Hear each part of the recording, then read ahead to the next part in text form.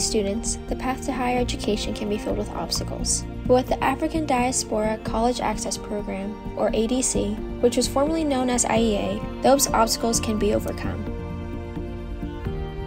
The African Diaspora College Access Program provides a range of services to help students prepare for, apply to, and enroll in college.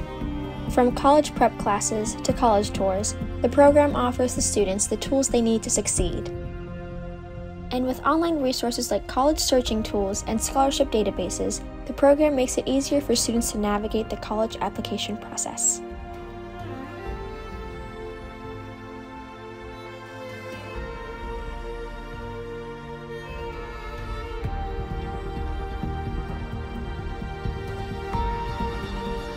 But the College Access Program is more than just a set of resources. It's a community. A community of students, counselors, and volunteers who are all working together to support one another.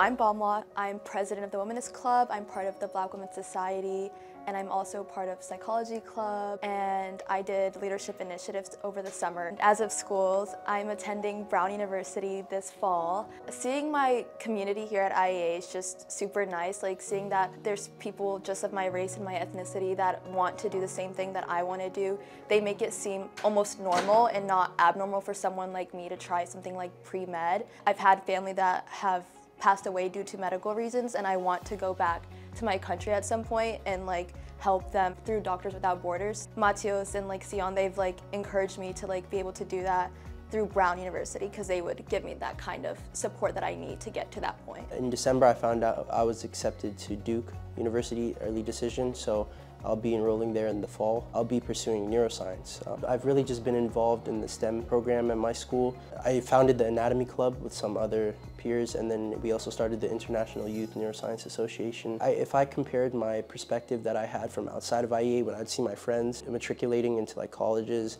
you know, you sort of see the results and they're going to these big colleges and everything. As much as they've helped me get into the college that I desired, they've also provided me with a lot of connections that I extend beyond my time here and I really do value that. Um, uh, IEA has really helped me when it comes to like writing essays for scholarships, just internships and all that. I think that I've grown a lot and I think my mentors would agree too.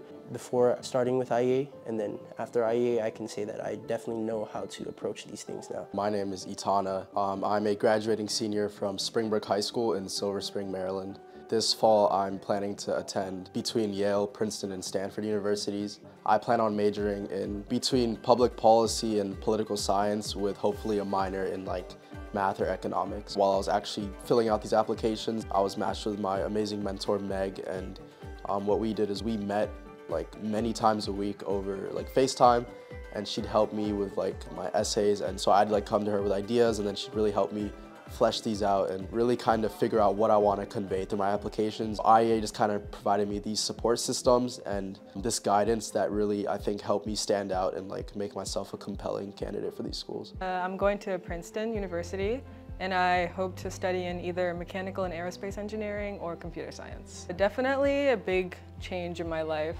I feel like I put a lot of focus in a lot of community building and a lot of focus on school. I mean, I think none of us would have believed that we would be the persons we are today. My mentor, Lori, she's been extremely helpful. She helps us um, not only choose where we're going, she helps us through financial aid, she helps us with our essays. We were able to compare different schools and that's how I was able to choose Princeton. I think all in all, IEA definitely gave me a clear goal and I know what I want to do with my life now. My name is Mizan. Um, I'm an Eritrean immigrant. Um, I've been here for uh, five years. Um, I plan to major in molecular biology. Um, I've been accepted into Harvard and Yale. When I first got in, I know uh, is always very adamant about like all of us have potential and we're going to get where we need to go. But I was still hesitant because like I, I saw all of my peers and they're amazing and I was like, maybe I didn't think that was possible for me. Um, but my mentors are amazing. They gave me all the advice and resources. They gave me a lot of resources that I didn't have access to or know before because I am the first person to be pursuing a four-year college in my family. Um, I know I wouldn't be here without them for sure.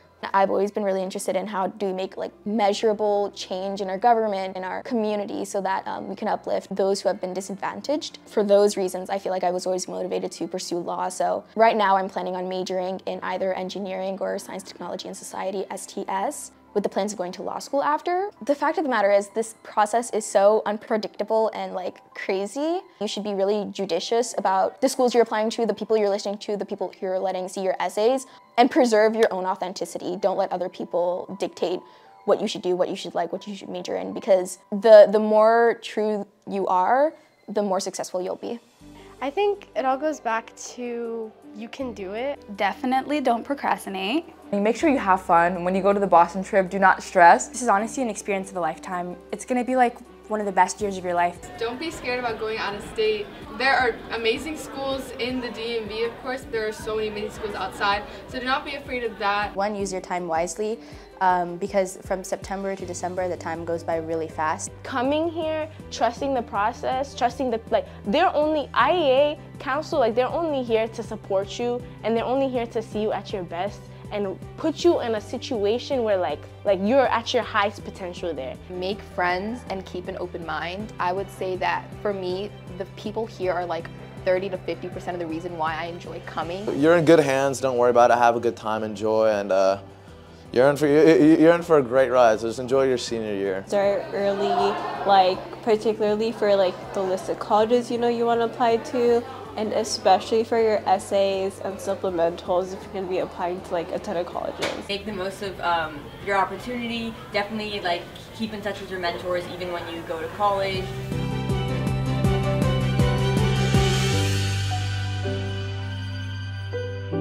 But the College Access Program is more than just a set of resources.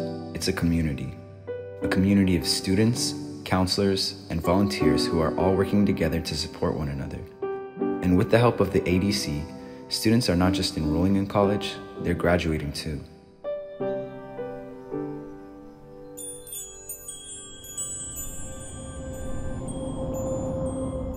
Together, we can open doors to higher education for all students. Thank you for your support of the ADC's College Access Program.